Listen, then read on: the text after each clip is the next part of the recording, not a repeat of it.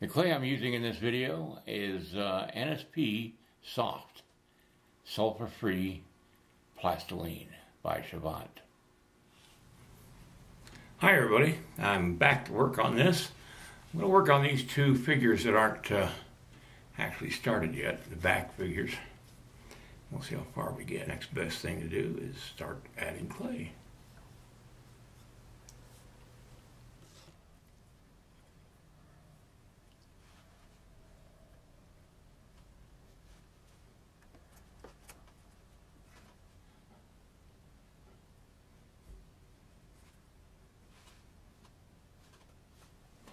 Sorry, I didn't realize my camera hadn't uh, been on.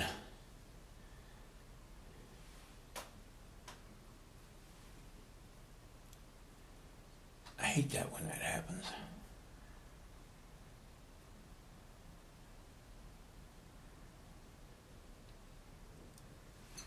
The problem with uh, filming yourself is you don't always know what the camera's doing or where it's aimed.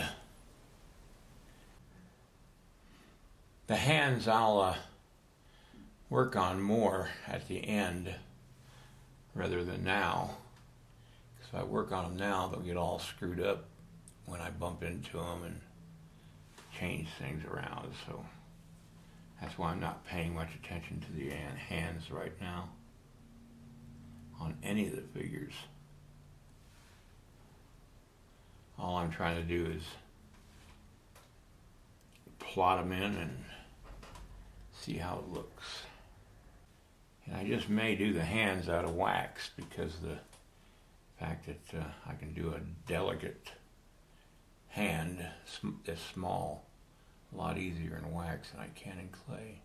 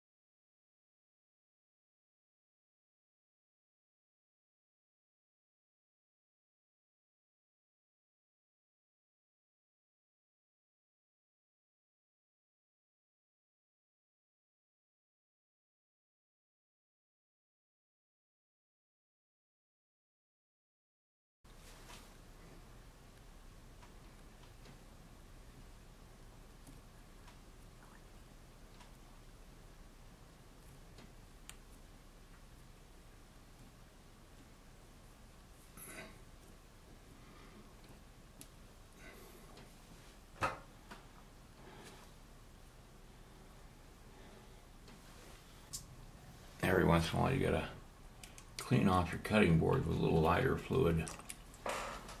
What that lighter fluid does is it uh, melts the clay. And I'm not sure exactly why. It might be something in the clay. Well, obviously it's something in the clay. But you gotta clean off your cutting board every once in a while or else your clay sticks to it.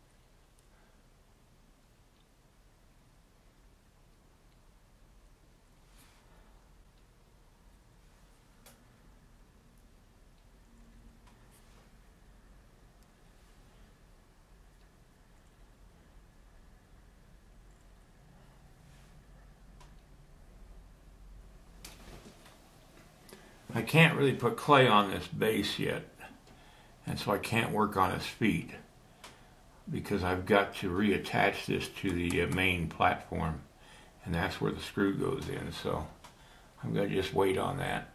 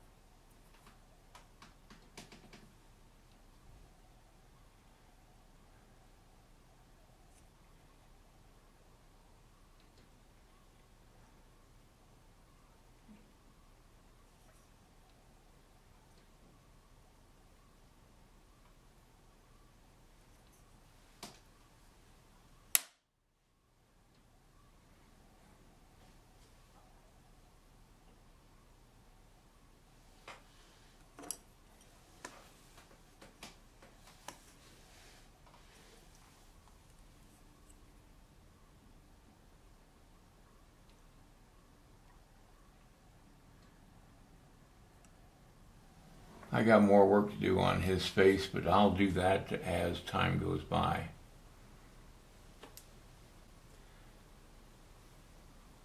Next time I work uh, on this figure.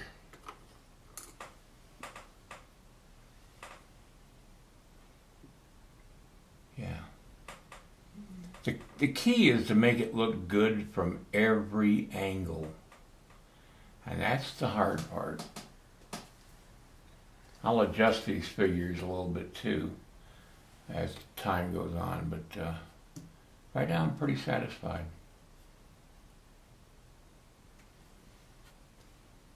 Need to close up these two figures somehow. I'm not sure exactly how, but I'll figure something out. All right, that's going to be it. And uh, see you next time. Happy sculpting. Till then.